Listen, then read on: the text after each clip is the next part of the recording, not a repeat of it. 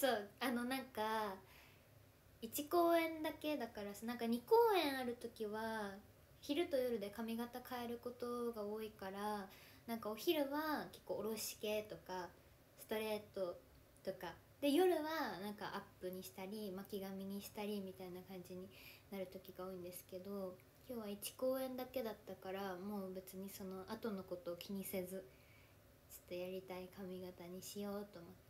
クラゲにしました。えそしたらね聞いてください。公演終わってさ携帯開いたらさママからさ「今日の髪型可愛かった」ってわざわざ LINE 来てたの。なかなかないよ。多分ほぼ毎公演ほぼ毎公演見てると思うけど今日の髪型可愛かったってわざわざ LINE してきてくれた。そう。ママお墨付き。そう初めてやったんだけど可愛いって褒められちゃった。そう。嬉しい。ママが言うのは間違いない。本当に。そう。だから今日可愛かった？そうなんだよね。可愛いよね。私も可愛い。気に入ったのでまた今度やります。ねえそう今日ルアちゃん初日だったんですけどもう嬉しかった私も本当に。一緒に出られて。もう大好き。今日も可愛かったよ。正解。今日もが大事。ありがとう。今日も可愛かった。正解。ありがとう。そうなんかねルアちゃん本当に本当に加入した時からずっと私のことを好きって。言ってくれててそうあのさなんだっけ？ガタチューブじゃなくて なんだっけあれ？地モラだ。地モラ私も一回出たことあるんですけど地モラのなんか取材？でもなんか私を見たのがきっかけで NGT に入りましたみたいな。なんか地元ら結構メンバーいっぱい出てるじゃないですか毎回。でなんか必ず NGT に加入したきっかけみたいなあれって学生さん中学生高校生が読むものだからなんか必ずそのどうして NGT に加入したかみたいな理由を全員ねその地元らの取材の時には聞かれるんですけどそうでもルアちゃんはそこでも私の名前を出してくれてて本当に私を見て NGT に入りたいって思ったってもう本当にずっと言ってくれててそう。だからね本当に今日はルアちゃんと一緒に出られるのめちゃくちゃ楽しみにしててそう嬉しかった本当に。そう。もうなんか妹みたい。自分の妹にもさらに年下だからもう赤ちゃんなのね。ねなんか本当にさそんな自分のことをさ憧れって言ってくれる人がさ来てくれることも私は目標でアイドルをずっとやってたからだからそうやってねなんか自分のことをね憧れって言ってくれる人と一緒にステージに立てるって。そう。もしかしたらルアちゃんにとってもね私と一緒にステージに立てることが嬉しいって思ってくれてたかもしれないけどでも私もすごく嬉しかった本当に。そう。そうだね。ポジション近いこと多かったね。確かに自己紹介 MC とかもね近かったよね。そう。ねすごい嬉しかったです私も。しかもさなんかルアちゃんの、まあ、ファンの方がたくさん入ってたじゃない？今日ルアちゃんの初日だから。でルアちゃんがねそうやって昔から私のね名前をね挙げてくれてたからなんかユニットの時とかは私のサイリウムを振ってくださっててルアちゃんのファンの方が。そうそれも本当に嬉しかったです。ありがとうございます。ちゃんと見てます。ちゃんと見てました。嬉しい本当に。そう。ルアちゃんのファンの皆さんまで私のことを 大事にしてくださって推しに似るのね。優しかった。ありがとうございます本当に。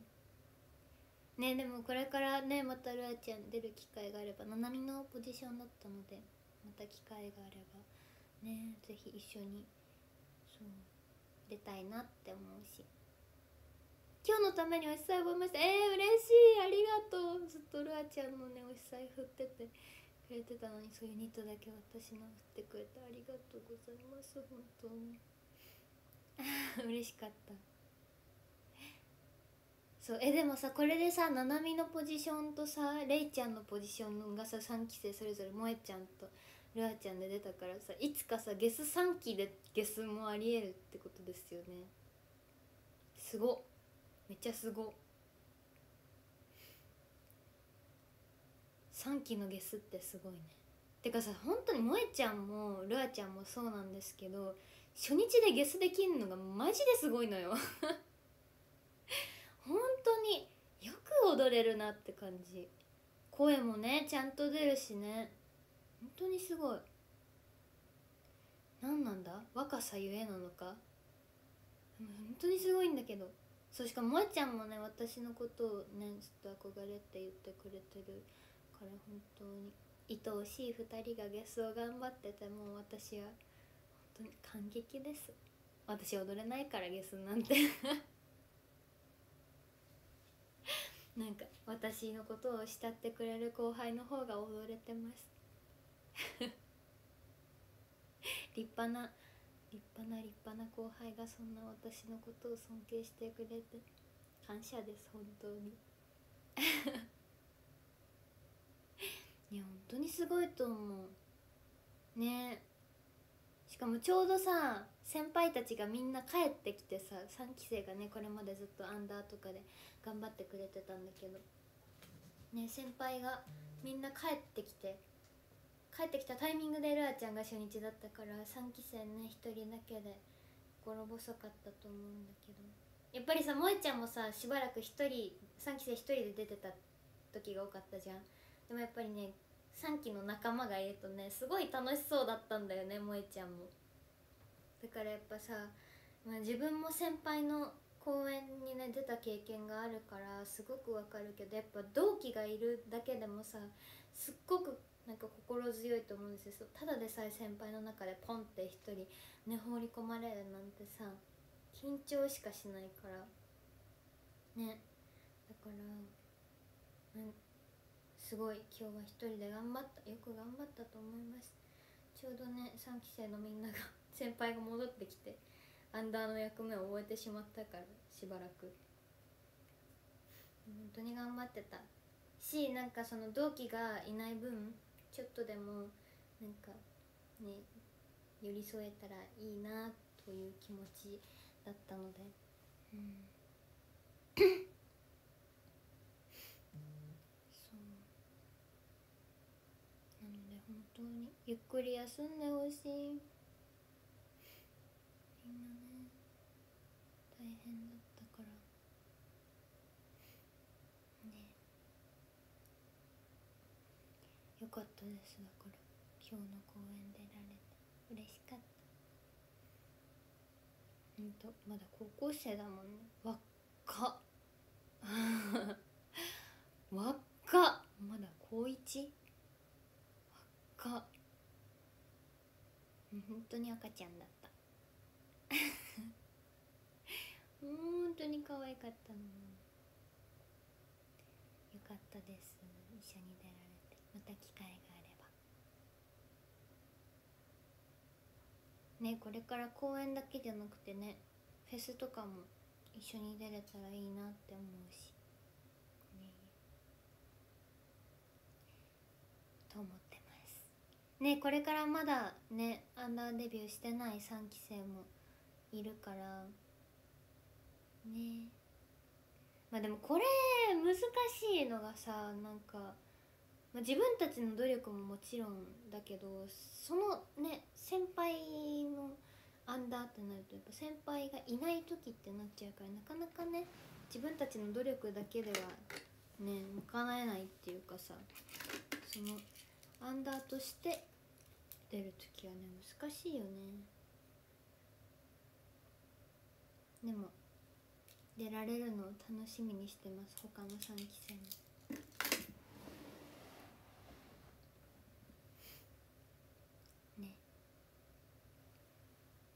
3期生も一緒にまた出られるの楽しみにしてるし。なんかさこの前一昨日の公演さ2期生2人しかいなかったのにさ今日2期生多すぎてさ。なんかでもすごいやっぱさ自分自身もねやっぱ同期がさ多い方がさ心強いのはさ、まあ、変わりないから本当になんか今日は賑やかだったな。ニキドラがいっぱいいてすごく。賑やかでした、うん、嬉しい。なんか冷蔵庫久しぶりにあのメンツでやったからなんか「おかえり」って感じだった私は。もう。ずっとねしばらくリカさんとスイスイと一緒にやってたからすっごい久しぶりにマナとはるかと一緒にやってでなんかねマナとはるかっていっつも出る直前喧嘩してんですよ。いっつも口喧嘩してんの。なんかめっちゃどうでもいいことで。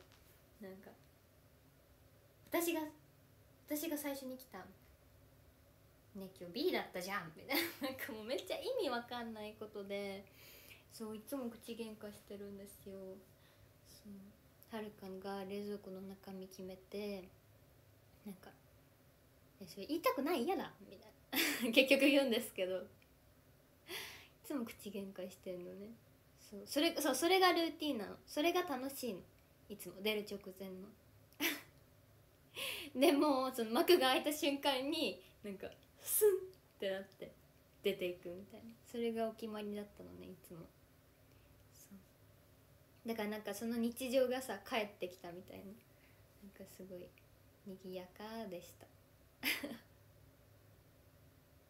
賑やかで楽しかったです、うん、そうでもさはるかがさいない間さすいすいがさすごい毎回冷蔵庫の中身を頑張って決めてくれててそう。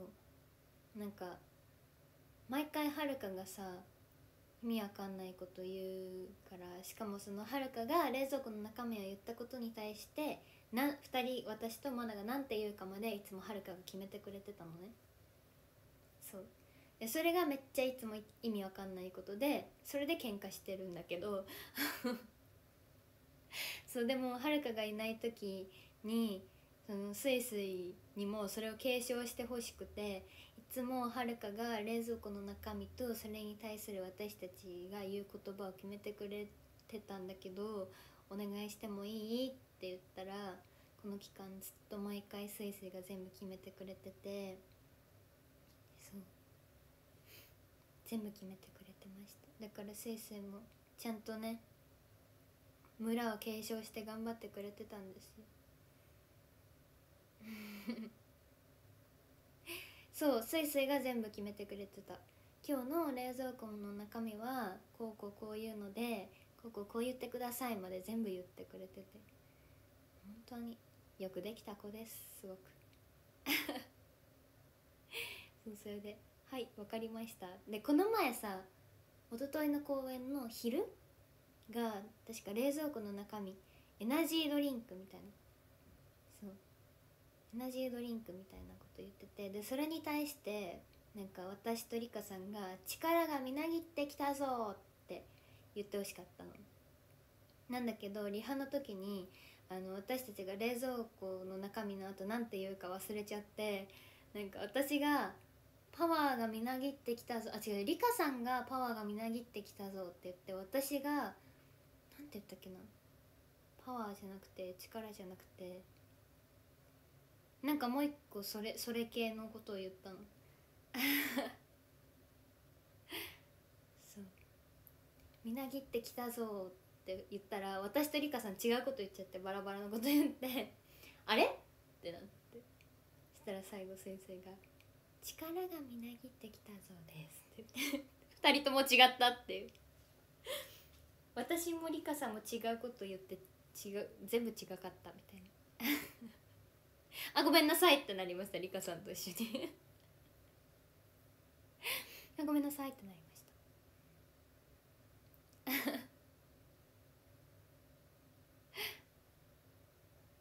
そうなんかだからそれぐらいスイスはいつも頑張ってくれてた。継承してるからリカさんと手つなげなかった。あれはね何なんだろうね。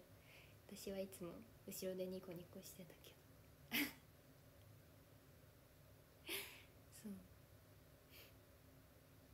う。ねだからでも本当に結構ここ最近たくさんリバイバル公演やってて私はあのここ最近の公演は全部出させていただいてるからこそやっぱメンバーの入れ替えがすごい激しいじゃないですか最近。だからねなんか毎回さ出るメンバーが違くて面白いよね。同じ公演だけどあの全く同じメンバーでっていうのがないので、ね、それがすごくね面白いなって思っててなんかそれは結構リバイバル公演の魅力だったりもするのかなって思います。やっぱ出るメンバーによって MC の中身とかも全然変わってくるしそう。全然違うなって思うからそう。なのでここ最近リバイバル公演はなんか多いけど全然違ってすごい私も楽しいです。うん。まあね確かにその分そのやっぱ合わせるところをこう合わせてるんだけどここはこうこうこういう振りだったからこれで気をつけましょうって言っても次の公演の時には出演メンバーが違うからなんかそれがうまくこう上手に共有できてない時とかがあってなんかね何度も何度も同じことをなんか繰り返してるみたいな時はまああったりもする。そこはまあ確かにちょっと難しいところではあるのかなって思うけどでもその分なんかそうやって毎回毎回同じ注意を繰り返すからこそ精度はすごく上がっていくのかなって思うのでそう。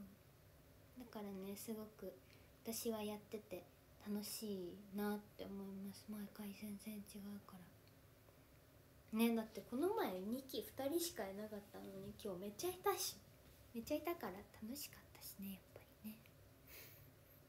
面白いなって思います、うん、いつも逆に日記だらけなのにこの前はめちゃくちゃこう各キーワードのバランスが良かったりとか、うん、だから本当にこう同じ公演やってるけどどの回も見逃せないというか毎回すごくあの見どころが違うっていうか楽しいなって思うのでそうだからまあリバイバル公演1回見たからいいかなとかじゃなくてなんか何回来ても楽しんでもらえるようなしかもこう来るごとにもっともっと精度が上がってるような公演にできたらいいなっていう感じですね。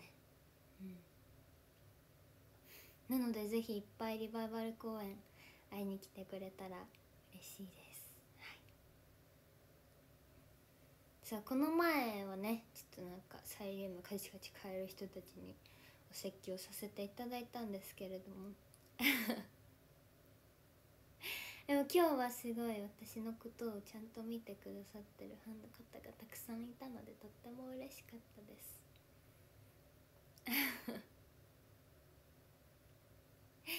ちゃんと私のことを見てくれてました。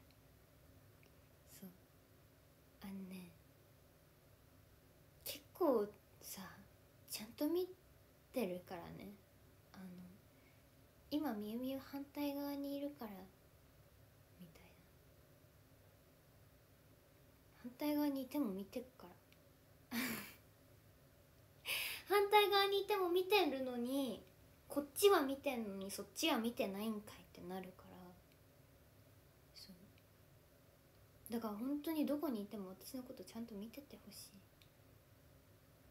わけですよ。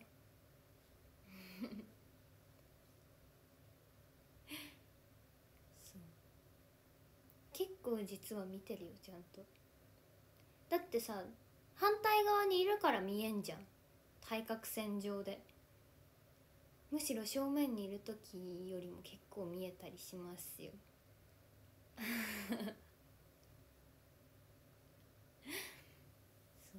だから本当にどこにいてもちゃんと私のこと見ててほしい。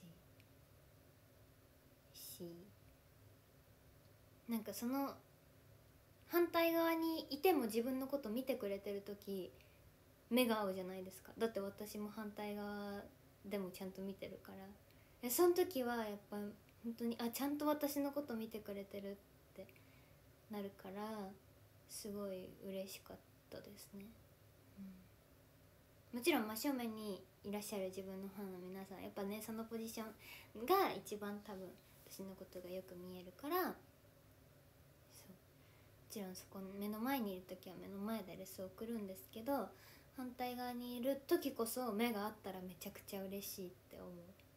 あ反対側にいてもちゃんと私のこと見てくれてるってなるから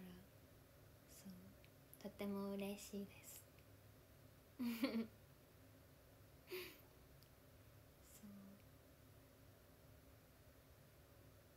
結構ね公演中割とステージに立ってる時視野広く見てることが多いので、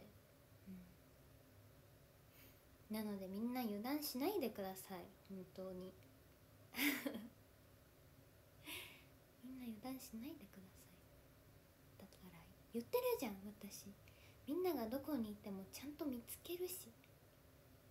最善にいようがね端っこにいようがねどこにいてもちゃんと見つけるんだから。だからみんなもどこのね席だったとしてもちゃんと私のこと見ててほしいしうん本当に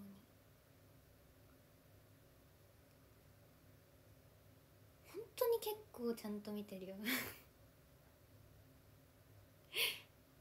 あのなんかでもその結構離れた位置にいてもなんかあのこうさチラって見た時にこっちを向いてくれてないとなんか私が監視しちゃってるみたいに感じちゃって。そりゃね目の自分のさ目の前にもさメンバーはいるわけだからさ。そりゃねそっちを見てほしい。やっぱこれ複雑なんですよ。これすっごい複雑でなんかやっぱ自分がステージに立ってる時はやっぱどこの席に座ってても自分のこと見ててほしいって思うしなんか自分がなんかこう自分のさ例えば対角線上とかにいらっしゃるファンの方をちらって見た時になんかこう自分のこと見てくれてたらあ全然遠くにいてもちゃんと自分のこと見てくれてるんだなって思ってやっぱ嬉しいんですけど例えばそれが自分のファンの方じゃない時ね。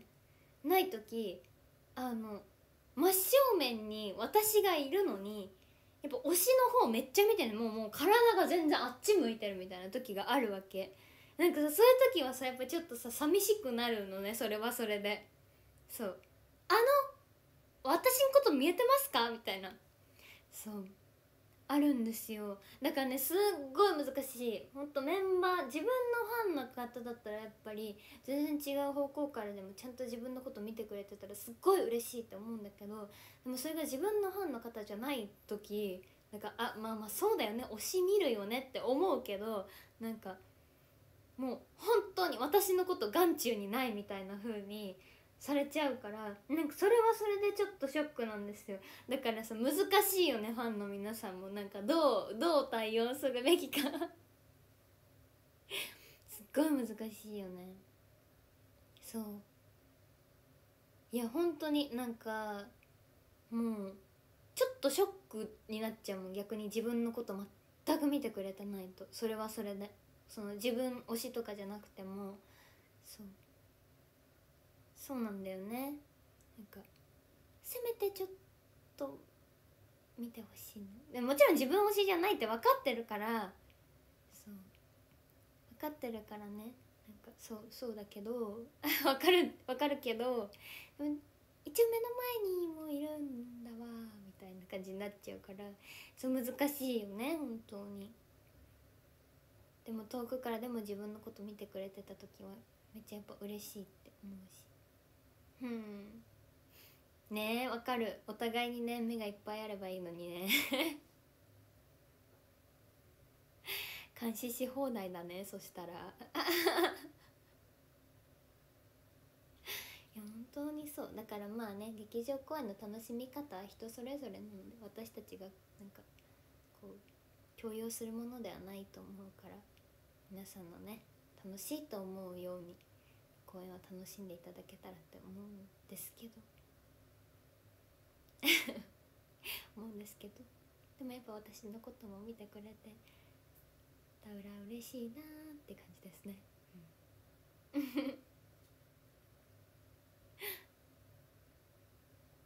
難しいよ本当に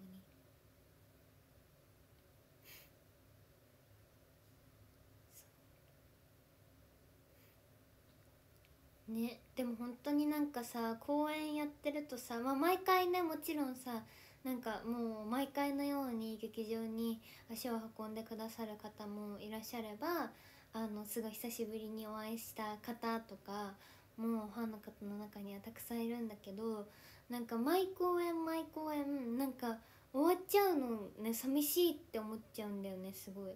なんかまあそれは、ちょっとみんながさ最後の曲になるとさ「今来たばっかり」とかさ「最初からやって」って言うじゃん。あの体力的に無理なんだけど。それはそれで体力的に無理なんだけどでもなんか気持ちとしては全然やりたい気持ち。なんかこうその日来てくださってるファンの皆さんとこれでお別れって寂しいなってすごい思っちゃうんだよね。なんか毎公演毎公演切ってくださって見に来てくださってる方が違うからこそなんかすごい本当に今回見に来てくださった方とはもう今日で終わりみたいな。だってまた同じさメンバーで集まることはないじゃん。メンバーっていうか同じファンの方がなんか劇場にさ集まることはないじゃないですか。毎回違うからそうだからさなんか寂しくなっちゃうんだよねすごい。今日のお客様はこれにて終わり感があって。なんか寂しいなって思っちゃうんだけど。そう。そうなの。なんかねもっとねみんなにいっぱいレス送りたいなって思うし。もっといっぱいね長い時間ステージに立てられたらなとかは思うんだけど。そう。でもちょっと体力的にしんどい。ちょっとそれはまあ体力的にしんどいんですけど。でも気持ちはそれぐらいの気持ちです本当に。だからねなんか同じファンの方が揃うことはないけどやっぱりまた公演来てほしいなって思うし。うん。また来てほしいです。また来て。また来て。劇場。また会いたいのでまた来てください。ま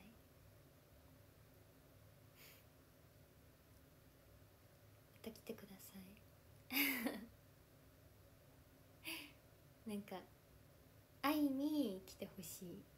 もちろん公演自体をすごい楽しんでほしいしこう見見に来て劇場公演そのものをもちろん楽しんでほしいんですけどなんかこう会いに来てほしい。すごい。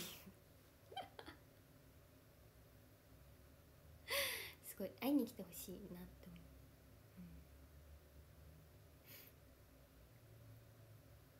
う、うん、ねだからでも今月割と劇場公演多いから嬉しい。やっぱり劇場公演やってる時間めちゃくちゃ楽しいので。次は日曜日？そっか。次は日曜日か。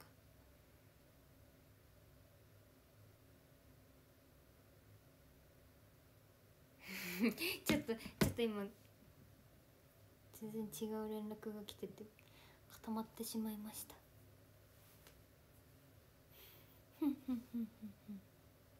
なんだっけ？ああ次の公演の日程を探そうと思って。そうだ次日曜日だね。顔の生誕か次。日曜日。そうだね。え嬉しい。楽しみ。めっちゃ楽しみ。あそうそうそう。なんかそうなの。公演の開演時間変わるんだよね。そうなんです。なんか30分長な長くなるなんていうの？くく繰り繰り越される？なんて言ったらいいの？そう今まで18時間円だったのがそう18時半になるんだよね。繰り下がるっていうのかな。そう。遅くなるの。そうそうそうそう。そうなんですよ。だから皆さん間違わないでね。あのねまだちょっとわからないんだけど今後も伸びるのかわかんない。元に戻すのかもよくわかんないんだけどそう。なんかね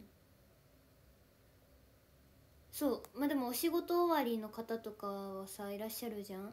そうなんかどうなんだろう？どういう意図があって30分繰り下げるのか？ちょっと私も本当の意味はあんまりわからないんだけどでもなんか30分繰り下げることによってそうやってお仕事終わりの方とかちょっと来やすくなったりとかするのかなと思っててどうなんだろうね？そう。それがさ30分違うだけで行きやすくなる方ももしかしたらいらっしゃるじゃないですか。なんかそういうのをなんか実験的に分かりやすくするためなのかなってちょっと思ったけどね。実際は分かんない、うん、どうなんだろう。この30分の違いでその応募してくださるさ人数がさどれだけ変わるかはちょっと気になるよね、うん、でも逆にさ平日さ30分変わるとさ新幹線とかどうなの？帰りとか。間に合うのかな？その30分って結構さ大きくない？どうなんだろうね。そうでもなんかだからそういう意味でも実験的に30分変えるっていうのはそういう意味もあるんじゃない？わかんないけど。うん。ねこの30分によって行きやすくなる方もいればと帰りがあって方もいらっしゃるだろうしね。やっぱさ全員が全員さちょうどいい時間なんてものはないからないけどやっぱり少しでも多くの方に劇場にやっぱり来てほしいしそのために私たちもできることがあればなんかね時間ちょっと変えるとかさなんかやれることがあるならねややれたらいいなって思うし。確かに生誕祭があるともう完全に新幹線乗れなさそうだね。普通の公園だったらまあギリ。お見送りとかね先頭にしてもらったりとか。変えて。とかはねあるかもね。うん。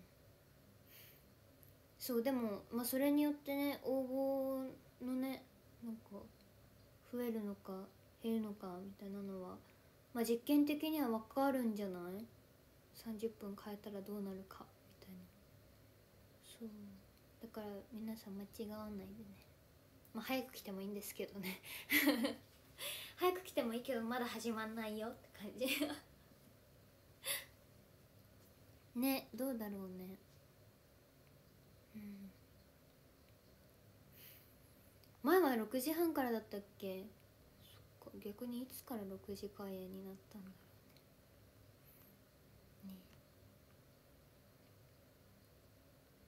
東京から半日休でも行きやすくないそっかそっか30分違うだけで1日休みにするか半日休みにするかまで変わってくるってこと？それは大きいね確かにね。そしたらやっぱ30分さ繰り下げることって結構大きいのかな。嘘これの前6時半開演だった？え全然記憶にないんだけど。えだって6時半開演で公演やってたってことですよね。それこそ研究生公演とか。そっかだからなんかあれできたの？DMM DMM じゃないやショールーム。公演前のショールームとか。やってたんかな。あビンゴがあったから6時半からだったんだ。なるほどね。そうなんだ。そっかそっか。もう全然覚えてない。もうなんか6時平日6時開演土日は5時開演が結構もう慣れちゃってたから。そうなんだ。まあまあでもね、まあ、実験的にやってみることはいいことなんじゃないですか。そっか5時45分までにロビーが閉まったんだ。ビンゴに参加するために。そう思うと結構早かったねそっかねでもそうやっていろいろ工夫したりとかねやっぱりね少しでも多くの方にね公演楽しんでもらいたいからね、うん、確かに換気休憩なかったからそっか。15分そうだよね。15分今開けてるもんね。その分早く終わるもん6時半開演にしたってね。前だったらね。そっか。ね。でもそうやってなんか工夫できることは工夫してね。少しでもいろんな方に劇場公演楽しんでもらえたらなって思うので。まあなんで6時半にしたか本当の意味は分かんないけど。うん。ねそうなったらいいなって思いますね。いろんな方にね見ていただけたらって思うので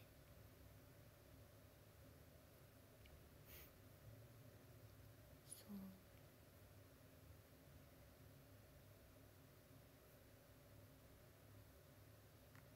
ねだから楽しみですめっちゃ。公演なんか今日はルアちゃんが初日だったから結構しっかりめにリハをやったんですよ。いつもだとなんか最近さ3期生が初日迎えるんです。結構昼夜公演のことが多かったからなんかそうなると前日とかにみんなで合わせでやって当日朝リハしてみたいな感じだったんだけど今日は夜公演だけだったからお昼ちょっと早めに劇場入ってみんなでリハしてたんですけどやっぱりそのまあルアちゃんが初日っていうこともあるしあと久しぶりのメンバーも多かったから結構なんか細かくリハをしたんですね。揃えるところとか。そう。でなんかこうダンスの先生にもっとこういう風にしたらこうかっこよく見えるよみたいなのをねなんかアドバイスをいただいたんだけどそう。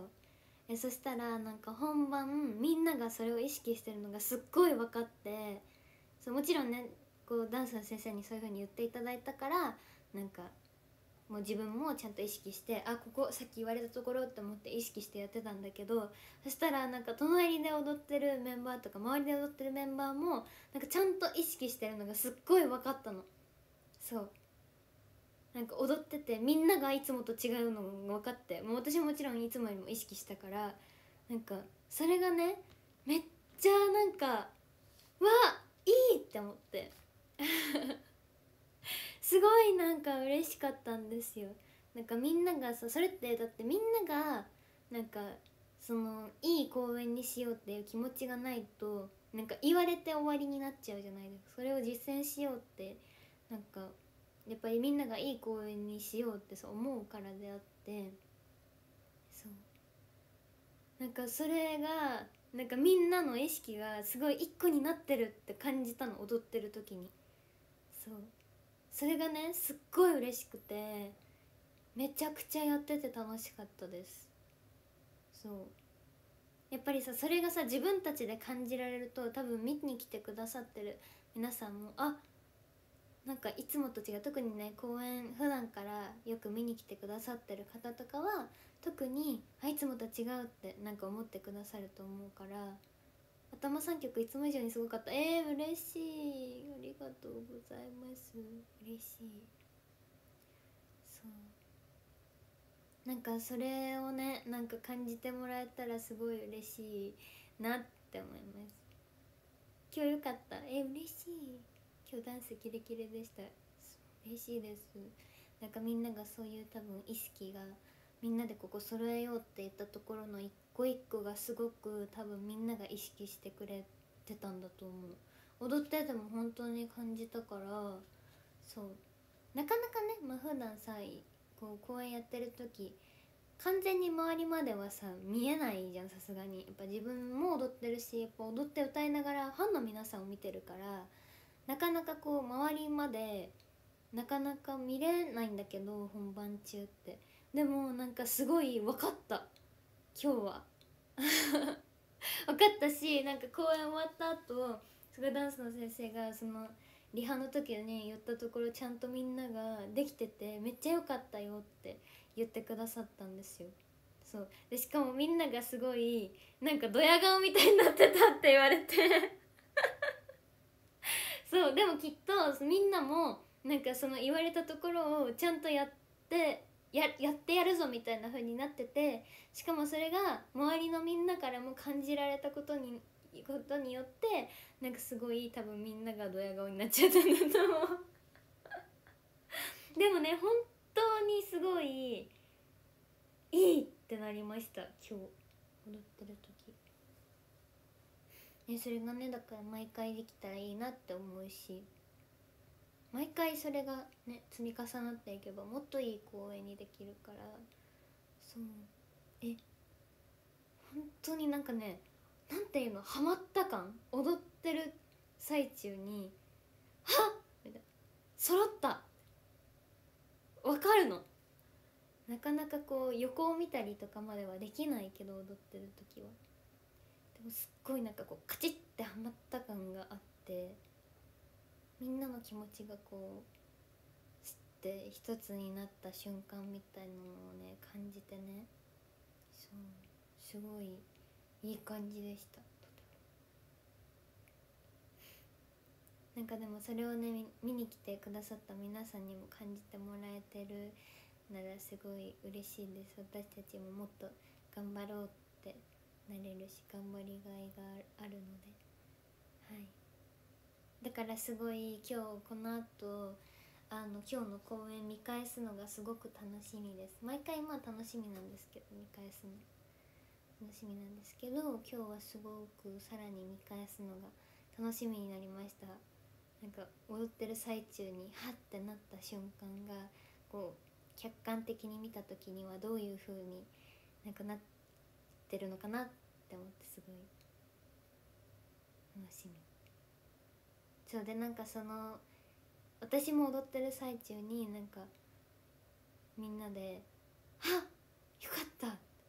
今今みんなめっちゃ良かったって思った瞬間の時やっぱダンスの先生がそこをさ注意してくださってたとこだから先生もなんかちゃんとできてるかなって見るじゃんやっぱり。さっき注意したとこだけどみんなちゃんと意識できてるかなみたいな。ちゃんと見てくれてるじゃんそこは特に。まあずっとねちゃんと見てくださってるけど特にさやっぱ注意したところはさ注意した通りにできてるかなって見るじゃないですか。でそしたらやっぱりすごいみんながドヤ顔で やってたらしくてすごい先生も「おお!」ってなってくれたらしい。嬉しいですねすごく。毎回それがねできたらいいなって。思います。めっちゃ嬉しい。また次もね。そうただこれがまた次メンバーが違うからね。そう。だからなんかまたそれをねその気持ちを同じところに持っていくっていうのがやっぱちょっと難しいところだなって思う。の今日のメンバーは今日のメンバーで多分揃ったからはっってなったと思うんだよね。でそれを多分みんなが次の公演にもあのちゃんと意識をできれば多分次の公演もその今日出てた人たちはまたできると思うんだけどまた今日出てなかった人たちはさそれがさ分からなかったりするじゃないですか。もちろんちゃんと伝えるんだけどそう。だからそうなった時にね同じ意識を持つのがちょっとやっぱ難しい。それがねあの、まあ、メンバーが毎回違うっていうのは面白いところではあるんだけどそれはちょっと難しさは感じるかなって思っていて。そう。ねでも本当になんか楽しかったです。次の公演も楽しみです。日曜日ちょっと空いちゃうね。ちょっと空いちゃうけど。カホの生誕もあるし。とても楽しみです。いやそうなんかね私は、まあ、公演もちろんステージに立ってこうパフォーマンスしたりするのも楽しいんですけどなんかアイドルしてる自分をなんか見てもらうこととかなんか自分がいかにアイドルらしく表現するかを追求することが私はすごく好きなんですね。その歌って踊ること自体が好きというよりかはアイドルをすることがすごく好きなんですよ。だからなんかこうどうレスを送ったらこう見に来てくださってる方をなんかキュンとさせられるかとかなんか私のことを見てくれるかとかなんかなんだろう。どうやったら自分のことを可愛いって思ってもらえるかを考えながらステージに立つのが私は好きで。そう。だから毎公演毎公演なんか一人でも多くの人になんか「あ耳可愛かった」って思ってもらえるようにステージに立ちたいんですね。だからなんかすごいあの毎毎回見に来てくださる方も違うしそうだから毎回毎回すごい今日は何人キュンとさせられるかな？みたいな。今日は何人キュンとさせられるでしょうか？みたいな感じですごいだから毎回楽しいです。だから毎回見に来てくださる方も違うからぱりよし今日はなんかこの人を落とすぞみたいな。なんかそんな感じすごい。だから毎回楽しいです。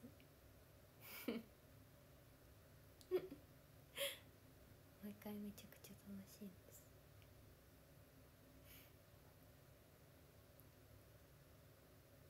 そう。だからもう本当に私が好きにさせてあげるから見に来てほしいって感じ。見に来てほしいって感じです。まあねそのなんかステージに立つ上でのさモチベーションはさすごく人それぞれだと思うんですけどそう。私はやっぱ可愛いって思ってもらいたい。と思ってステージに立ってる。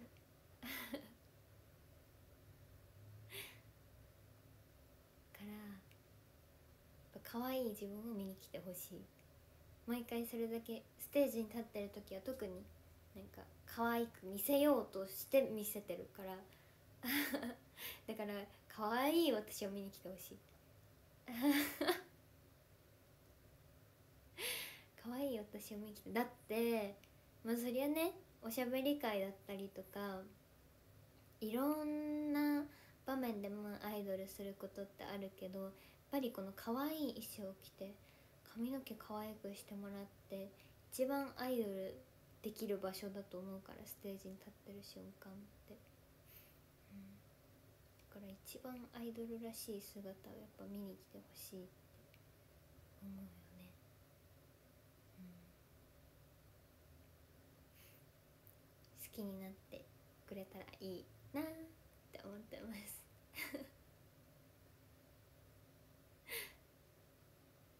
アイドルしてる自分のことを好きになってほしいから、う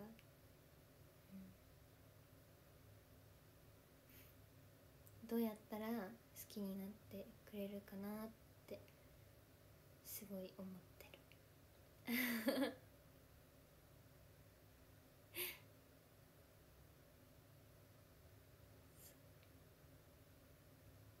なのでぜひ来てほしい。ぜひ来て。して私のことをちゃんと見てて。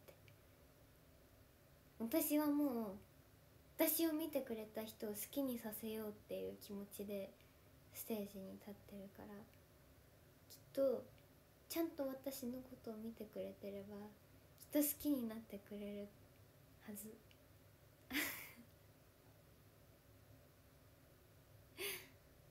で来てくれても私のこと見てくれてなかったらそれは私のこと好きになんてなれないよねって感じ。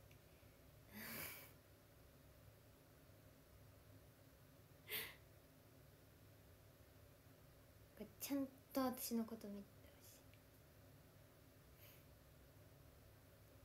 って思ってます。でもねそう今日はだから私のお財布ってくださってる方とか私のことをなんか普段から応援してくださってる方もなんかちゃんと私のことを見てくれてたしなんか私推しじゃない方もなんか全然違うメンバーのサイリウム振ってたりとかするんですけど私と目を合わせてくれたことがすごく嬉しかったです。もうだって目すら合わせてくれなかったらやっぱ好きになってもらえるチャンスをさシャットダウンされてるわけじゃないですか。目合わせてくれたらね。やっぱもうそこからあとはもう好きになってもらえるようにアピールするだけなんで。でもだって目すら合わせてくれなかったやっぱアピールすらできないじゃないですか。そう。だからすごい今日はいろんな方と目があったので。一人でも好きになってくれてたらいいなって思います。はい。そう私はねちゃんとやっぱみんなにレスを送ってるからね。そのレスを受け取るかどうかはさみんながちゃんと私のことを見てくれてないとさ受け取るものも受け取れられないじゃないのよ。私が送ってるものをねやっぱり真正面から受け取ってほしいから。そのためにはちょっと私のことちゃんと見ててくれないと。なんか「えレスもらってないんですけど」みたいに言われても「いやあなたが私のこと見てないだけですよね」ってなるので。なるのでいや私のことちゃんと見てくれてればちゃんとレス送ってるはずですよってなるので。はい。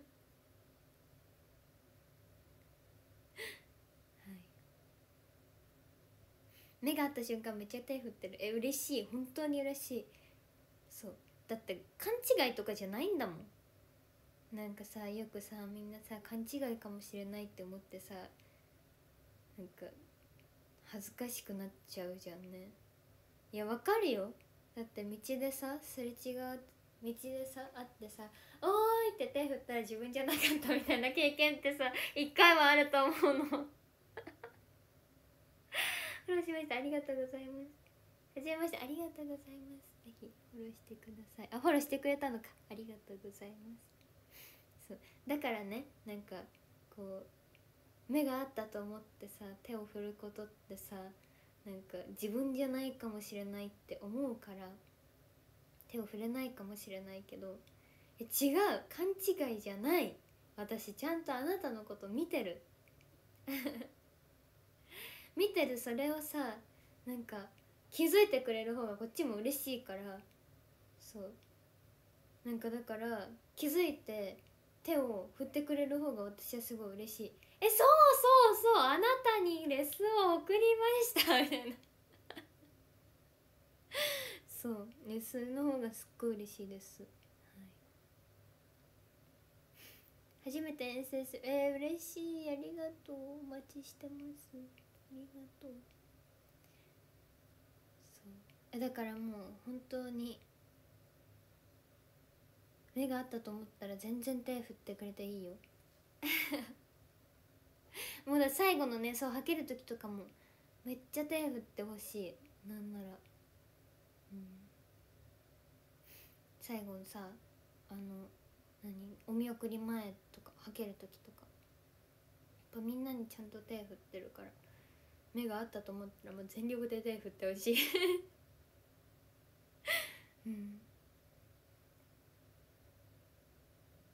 本当にめちゃ見てるから。いっぱい手振って。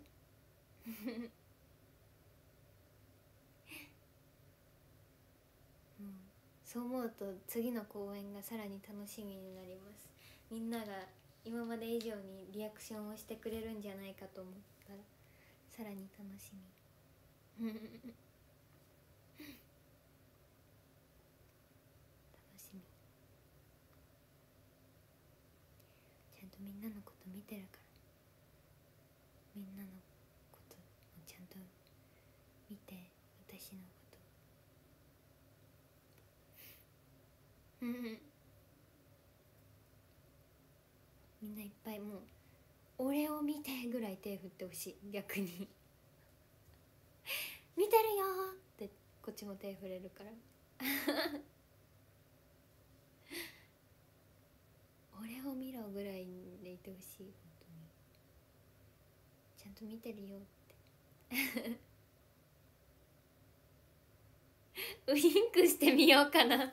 ケル待ってるね。私のことをじゃあちょっと打ち抜いてもろて。私のことを落としてもろて。ああ楽しみ楽しみ。とっても楽しみ。みんなこれからいっぱいアピールして。楽しみにしてるね。えねえそう今日さ髪型さ初めてクラゲしたって言ったじゃないですか。今日さ新しいアイシャドウ使ったの。あちなみにこのキラキラはカホが貸してくれたってかくれたんですけど。カホがくれた。あ取れちゃった。触ったら取れちゃった。のね紫のキラキラはカホがくれたんですけどあのアイシャドウは9点の目代わりで買った新しいアイシャドウをちょっと今日初めて使ってみたんですよ。そう。えどうですか？見えますか？めっちゃキラキラ可愛くない？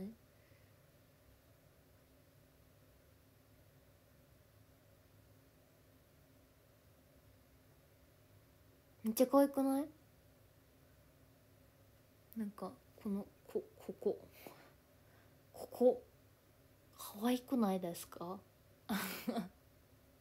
なんかねちょっと大きいラメがこっちもそうだけど。めっちゃ可愛くない？これです。蜂の巣みたいな。うわえ？フィルム入ってたんだ。知らなかった。めっちゃ可愛くない？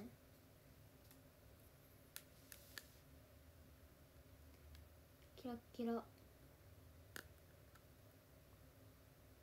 なんかここがめっちゃ可愛かった。このここのラメを今日ここにのせたんですけどめっちゃねラメが大きくて可愛かっ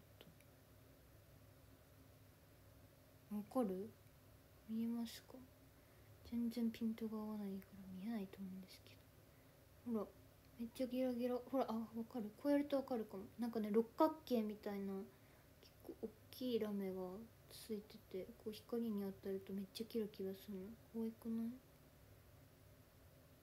そうこれをここに今日はこうやってこうつけてました。だから下ここがめっちゃめっちゃキラキラになった。可愛くない？9点でそうなんかスパンコールみたいだね。本当に。なんかおっき大きい六角形のラメがついてる。可愛かった？今日だから新しいアイシャドウ使って新しい初めての髪型したから今日可愛かった？めんどくさこの女。可愛かった？好きになってくれた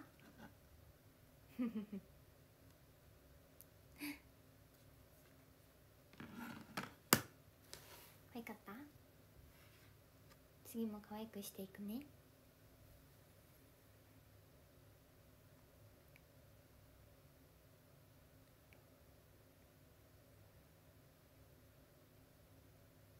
やっぱメール送ってないからもう終わりにしなきゃ。終わりにします。メールが間に合わなくなっちゃう。よし。ランキングを読もう。13位トトちゃんさんありがとうございます。12位ケイタさんありがとうございます。11位トッシーさんありがとうございます。10位ヒーローさんありがとうございます。9位タカさんありがとうございます。8位ヨッシーさんありがとうございます。7位トシさんありがとうございます。6位ラマさんありがとうございます。5位 MS さんありがとうございます。4位かやとさんありがとうございます。3位ほしーさんありがとうございます。2位のさらさんありがとうございます。1位ゆうきさんありがとうございます。よしすいませんね。あっという間でした。ありがとうございました。え楽しかった今日の公演もめちゃくちゃぜひ DMM などで見てください。また日曜日の公演も楽しみです。ありがとうございました。おやすみ